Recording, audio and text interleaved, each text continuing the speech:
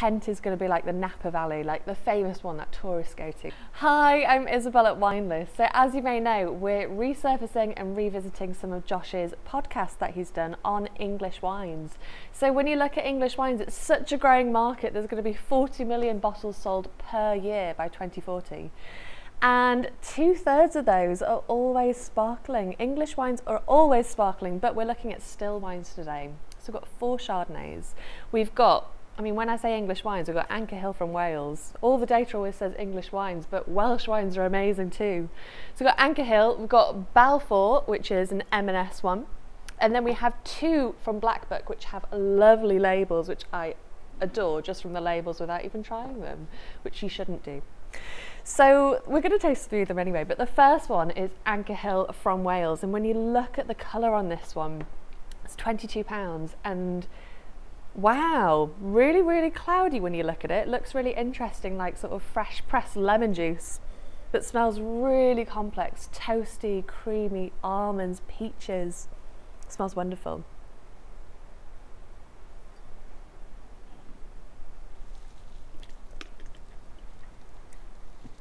Oh, amazing. It just carries on, the finish on it is so long. And it's really steely and high acidity with all that complexity as well. It's really interesting, that one. Very, really like it. So the next one is Balfour, and Balfour is, it's M&S's basically English wine. And a lot of supermarkets are doing English wines because of popularity. So this is $12.99 and it's that entry level price point that you get for English wines usually. So to look at it, looks like an ordinary wine so far. Smells nice and appley like what you get out of an English wine.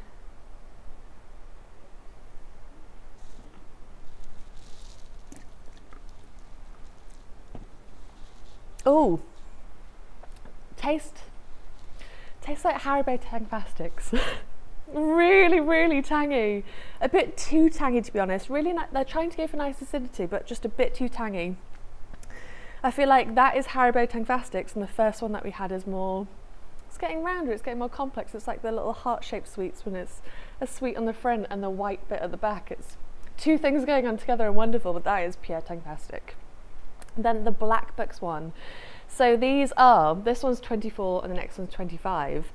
And this is basically a producer, an urban producer in London. So he buys grapes from different pockets of vineyards everywhere. This one is from Essex. And Josh actually interviewed him in his podcast. And he said some really interesting things about English wines. So this one's Essex, the next one's Surrey. And he basically said Essex is going to be like the Oregon of England. And Kent is going to be like the Napa Valley, like the famous one that tourists go to. So I'm interested to try the Essex one. Oh, it smells wonderful. Like vanilla and cream and loads of fruit in there, but with this weirdness to it as well. Like almonds and yeah, it smells good.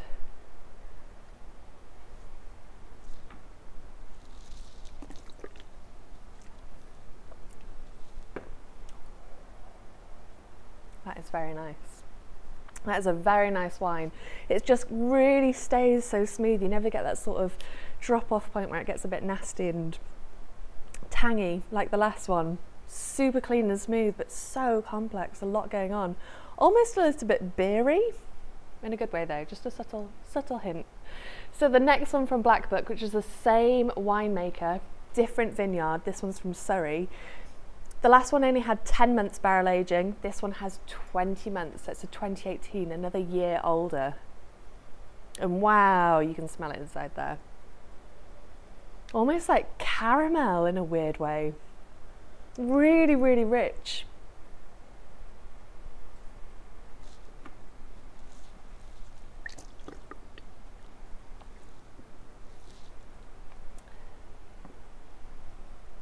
Exactly the same. They get the finish so nice, it just carries on and on and on. A bit like toffee apples, but clean, steely, fresh, really wonderful wine. So between the four of them, got quite similar price points. So we've got 22, 24, 25. I have to say they were all wonderful and definitely worth it. When you get English wines, they do tend to be a bit more expensive, but when you get to that sort of 20 to 30 range, they are wonderful and so worth it. But I have to say the Balfour at 12.99, you can get way better wines at 12.99, or just a bag of Haribo Tangafastics. Let us know if you like our videos and subscribe to follow more of them.